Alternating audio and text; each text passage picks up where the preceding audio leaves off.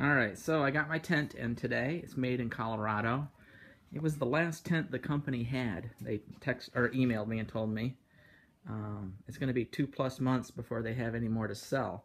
So I got kind of a cool little story to tell when I go to the motorcycle rally. And when people are like, "Oh, cool tent, man," I say, "Yeah, it's got a little bit of a history to it."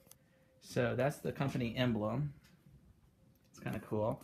I didn't realize it from previous pictures on the internet, but it goes all the way through.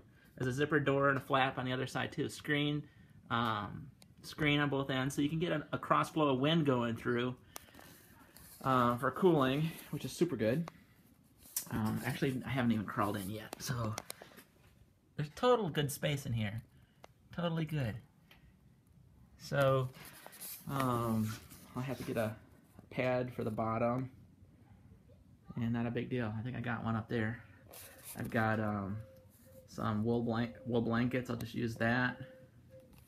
And it rolls up into a tiny little little roll. Oh, and I got my um, um, sissy bar in. I need to figure out a way to make this stay. This stay right here up to the top because that way it'll be, you know, the tent will be taller and uh, it'll take some of this sag. That's a terrible video. Some of the sag out in here, if I can, if I can get it to go to the top of the uh, of the sissy bar, it'll make it taller. So I need to figure out a way to do that up here, uh, up in this area, so it stays up here. So brainstorm with me, give me suggestions on how to do that.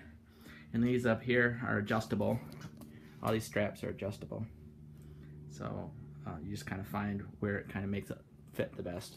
And of course, on the concrete, I can't put the tents stakes in that come with it. So anyway, cool. It should be really cool. And then if this doesn't work, if it's all like uh, big rocks and whatever, I've got a, a, hammock that I can I'll bring as well. So I'll have an in the air option and an on the ground option, depending on weather and ground conditions.